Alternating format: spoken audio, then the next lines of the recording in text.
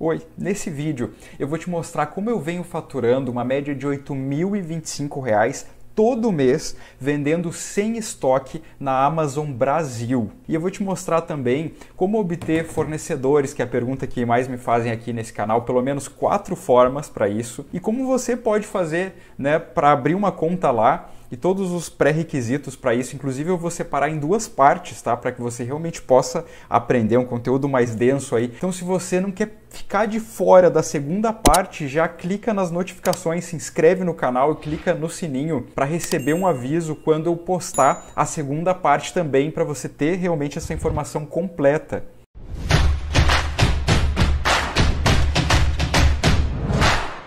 Meu nome é Cássio Canali do negócio de quatro rendas e você está agora no maior canal do Brasil sobre dropshipping nacional, sobre vendas de produtos físicos sem estoque utilizando fornecedores brasileiros. E você precisa saber que a Amazon é, sem sombra de dúvidas, uma forma de não ficar refém do Mercado Livre ou só de outros marketplaces. E a Amazon tem uma vantagem sobre o Mercado Livre e outros né, sites de venda, que é a possibilidade de você configurar vários fretes, origens de frete, sabe? Então você pode trabalhar com múltiplos fornecedores de qualquer lugar do Brasil na mesma conta. E isso você não consegue fazer em outros locais. Então eu vou te mostrar nessa parte 1 e 2 como fazer isso. Antes de tudo, você precisa saber também que a Amazon está se tornando uma tsunami no Brasil e foi crescendo. Essa é uma estratégia muito comum, inclusive, na Amazon. Quando ela está entrando num país novo, ela entra de uma forma mais discreta, na humildade, assim, para conhecer o mercado. E aí, depois que ela aprendeu, sugou tudo que tinha que sugar de informações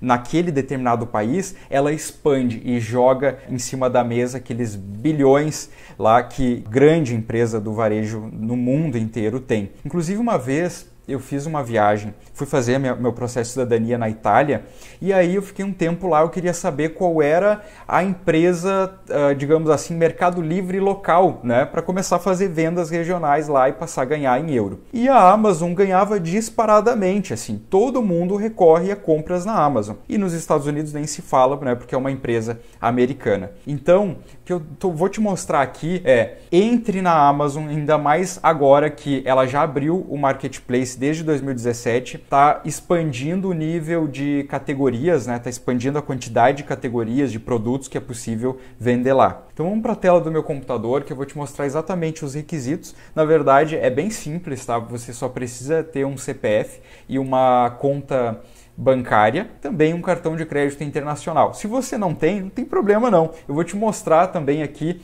nesse vídeo como você pode obter de graça e sem análise de crédito. Bora para a tela do meu computador que eu vou te mostrar isso passo a passo. Então aqui na tela eu te apresento primeiro a parte do meu painel de vendas, né, onde mostra exatamente essa média dividido nos últimos oito meses de 8.025 com 55, um total de pedidos de 728 e o ticket médio de 88 com 19. O que é esse ticket médio? Né? É o preço médio por cada pedido, certo? Eu gosto de mostrar esses números para você né, visualizar que quando você assiste os vídeos aqui desse canal, não é alguém que está estudando para te ensinar, não, é alguém que vive disso, né? Ah, praticamente a minha maior fonte de renda hoje ainda é o dropshipping nacional, a venda de produtos físicos. Então eu estou te mostrando aqui que você vai aprender com quem pratica isso, né, todos os dias, tá certo? E que produto eu, eu coloco à venda, né? Eu tenho vários fornecedores que fazem toda a parte da logística de entrega para mim. Né? Eu só envio a etiqueta de postagem por e-mail e aí eles fazem a entrega. No momento que eu estou vendendo aqui na Amazon são roupas, tá? Então vou entrar aqui em gerenciar inventário para você ver alguns produtos, ó.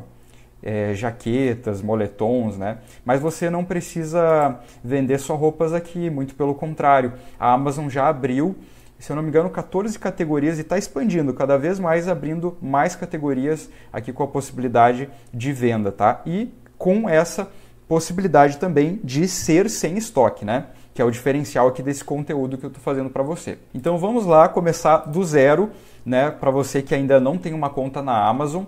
Existe o site que é o services.amazon.com.br, vou deixar o link aqui na descrição também.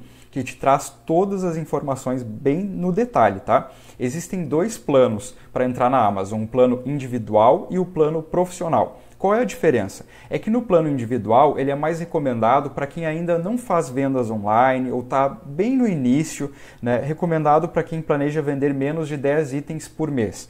A cobrança vai ser assim, vai ser R$ reais por item vendido mais a comissão. Essa comissão varia de acordo com a categoria do produto que você escolher vender ou a categoria que, né, que você negociar ali com o seu fornecedor, tá? Nós já vamos falar sobre isso. Primeiro vamos ver aqui o plano e também tem o profissional que é quando você planeja vender mais de 10 itens por mês e aí tem um custo de R$19,00 mais a comissão, um custo fixo de R$19,00 mais a comissão. Então, qual é a minha recomendação? É se você ainda não faz vendas online, começar pelo plano individual.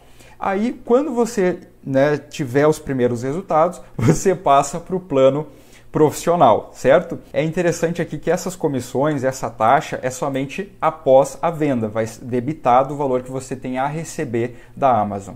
Antes de se registrar, veja que tipo de produto né, você quer vender. Então vamos dar uma olhada aqui nas categorias que são permitidas hoje. Ó. Existem não 14, mas 16 categorias já disponíveis. Talvez quando você ver esse vídeo pode até ter mais aqui, né? Então, quais produtos hoje? Alimentos e bebidas, atividades ao ar livre, beleza, brinquedos e jogos, calçados, bolsas, óculos, câmeras, casa e cozinha, celular, computadores eletrônicos, esportes, ferramentas e materiais de construção, games, joias, livros, é muita coisa, gente. Mala e acessórios de viagem, papelaria, escritório, pet shop, produtos automotivos. O que é bom reforçar aqui é que hoje já está acontecendo, estou te mostrando aqui que eu já estou faturando todo mês na Amazon, mas o investimento que a Amazon está fazendo no Brasil está cada vez mais pesado em tráfego, sabe, em anúncios. Então, os vendedores que estão entrando agora vão pegar o filé e já vão começar a posicionar os anúncios antes que venha aquela enxurrada de vendedores que o Mercado Livre tem e passe né, a entrar na Amazon também. Se você começar a fazer isso agora, você já vai estar tá posicionando os seus anúncios antes de todo mundo. E qual é o custo então de comissão? Eu separei aqui uma página onde tem essa informação da porcentagem de comissão roupas e acessórios 16%, sapato 16%. Ó, ele abre aqui as 16 categorias, né, e mostra quanto é cobrado. Então assim, ó, vai dar uma média de 13 a 16%, tá? Pode ser mais, pode ser um pouquinho menos porque aqui tem essa escala, né? Então aqui você já tem mais ou menos uma média de quanto custa, né, anunciar na Amazon. Tá, e quais são os pré-requisitos? Vamos entrar naquele site novamente aqui, ó, que vai mostrar isso, tá? Ele tem realmente todas as informações. Como começar? Vamos ver. Você vai precisar de informações como nome, endereço, e-mail, telefone, um documento de identidade como CPF, ou CNPJ, se você quiser fazer já o cadastro como pessoa jurídica, um cartão de crédito internacional, Master, Visa ou Diners e uma conta bancária com o mesmo CPF e CNPJ de cadastro para receber o valor das suas vendas. Cássio, mas eu não tenho cartão de crédito internacional. Como eu faço? Simples entra na página que eu vou deixar na descrição também desse vídeo, no cartão pré-pago do Mercado Pago, aonde eles não cobram tarifa de emissão desse cartão de crédito, eles não cobram uma mensalidade e você vai poder utilizar o saldo das suas vendas no Mercado Livre também como um cartão de débito nesse cartão que também pode ser utilizado na função crédito internacional. Então, hoje não ter um cartão de crédito internacional não é desculpa, porque existem essas modalidades. Não é só do Mercado Pago, gente. Você tem esse recurso no PagSeguro e em várias outras companhias de cartões, você pode colocar no Google cartão de crédito pré-pago internacional e estudar as opções. Eu recomendo o Mercado Pago porque não há custo, conforme eu te falei, de emissão ou de mensalidade. Então agora você já sabe como funciona plano individual, profissional, a diferença entre os dois praticamente é a seguinte. Deixa eu ver se tem esse resumo aqui embaixo. Ó. Quando eu fiz a comparação dos dois planos, eu percebi que a maior diferença para nós que vendemos sem estoque é que no plano profissional é a única, o único caminho aonde você consegue ter múltiplos endereços, configurar diferentes perfis né, de CEPs de origem para cadastrar vários fornecedores na mesma conta. Você não consegue fazer isso no plano individual. Então você consegue no plano individual trabalhar com um fornecedor sem estoque, independente do local onde ele esteja no Brasil, e aí você pode começar assim. E depois, quando você for expandindo e adicionando mais fornecedores, você coloca no plano profissional, né? Faz esse pequeno investimento aqui de 19 por mês, que realmente é um valor ridículo comparado ao faturamento e lucro líquido que a Amazon traz, certo? Até porque você não vai precisar investir em anúncios patrocinados no Google, no Facebook, porque na Amazon já existe, né, uma quantidade assim de tráfego de pessoas passando ali gratuitamente, você vai se beneficiar disso. Beleza, Cássio, mas falando de fornecedores, né? Vamos para a cereja do bolo. Como é que eu obtenho fornecedores sem estoque para poder começar já a cadastrar os meus produtos e sair vendendo? É o seguinte, eu vou te dar aqui quatro fontes para obter esses fornecedores sem estoque, beleza? Porque essa é a especialidade do canal. Então, a primeira fonte é o próprio canal que leva o meu nome, Cássio Canalha, aqui no YouTube, né? Por exemplo, tem uma playlist onde eu falo só sobre isso, a playlist Fornecedores Dropshipping Nacional Brasileiro. Eu vou deixar o link dessa playlist aqui embaixo, tá? Tem vários vídeos onde eu te mostro como obter esses fornecedores e tem um especial que eu gravei com o objetivo de atrair fornecedores. É esse aqui, ó, como vender mais melhor com dropship nacional para fabricantes. Então aqui eu, eu abri a possibilidade do jabá. Né? Aqui eles se apresentam também como fornecedores na, nos comentários. Então aproveita esses contatos aqui, aproveita os vídeos do YouTube. Tá? Essa é uma das fontes. A segunda fonte é que eu escrevi um e-book inteiro só sobre isso, só como obter as suas parcerias exclusivas, para não depender de nenhuma lista pronta na internet. Então, você acessa essa página, coloca o seu e-mail aqui e aí você recebe esse e-book aqui inteiramente de graça no seu e-mail que te mostra exatamente um passo a passo como obter os seus próprios fornecedores. Essa é a segunda fonte. A terceira fonte que eu vou te mostrar são grupos fechados no Facebook, aonde se fala lá sobre dropshipping. E existem alguns bem específicos para oportunidades nacionais. Então vou te indicar aqui pelo menos três. Vou colocar o link também na descrição do vídeo. Você vai lá, se candidata para participar, né, solicita autorização e aguarda para ser aprovado, porque os fornecedores nacionais se apresentam aqui e você pode pegar o contato deles. Tem inúmeros produtos de diferentes segmentos que a Amazon permite venda lá. Tá? Então, o primeiro deles é a Dropshipping Brasil, fornecedores, fabricantes e atacadistas nacionais.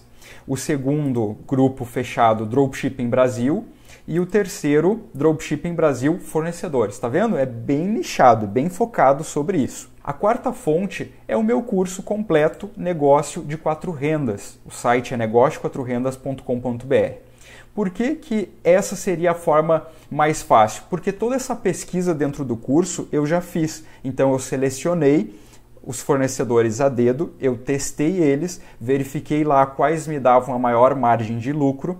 Alguns, né, não foi interessante porque atrasava o envio do pedido. Então eu já fiz todo esse filtro, tanto eu quanto a minha equipe, a gente está sempre prospectando e habilitando novos fornecedores, testando novos mercados. E a gente vai mantendo a atualização de uma lista pequena, mas uma lista altamente lucrativa de fornecedores, aonde a gente vai mantendo ela sempre atualizada e entregando de bandeja para os alunos. Então, se você quer um atalho né, de algo que já foi cuidadosamente selecionada, eu recomendo você conhecer o meu treinamento completo, negócio de quatro rendas.com.br, que eu vou deixar o link aqui na descrição também desse vídeo, tá certo? Então são quatro fontes aí. No mais, o que você vai precisar além disso é uma conta bancária, né? Acontece ali um acúmulo né, de, de comissões, de vendas, e aí de 15 em 15 dias eles fazem a transferência para sua conta bancária ali do faturamento das suas vendas, né? Reduzindo apenas o valor das comissões que eles já deduzem do valor a enviar para você. Então, no próximo vídeo eu vou te mostrar mais tela por tela a configuração de fretes. Fica ligado, clica em se inscrever agora no canal nas notificações também para não perder e receber antes de todo mundo o aviso quando esse vídeo chegar. Quero conhecer melhor você, eu respondo todos os comentários aqui. Então para eu saber que você chegou até o final desse vídeo, comenta hashtag, tá? É a palavra mágica. Comenta hashtag Amazon sem estoque. Que eu vou fazer a questão ali de responder você. Além disso, dá um like nesse vídeo aqui porque isso me ajuda demais e compartilha, puxa lá o WhatsApp, compartilha esse vídeo com quem você quer que cresça junto com você financeiramente, né, para atingir liberdade de tempo, geográfica e financeira, que é o que nós tanto falamos aqui nesse canal. Eu te vejo na semana que vem. Um forte abraço.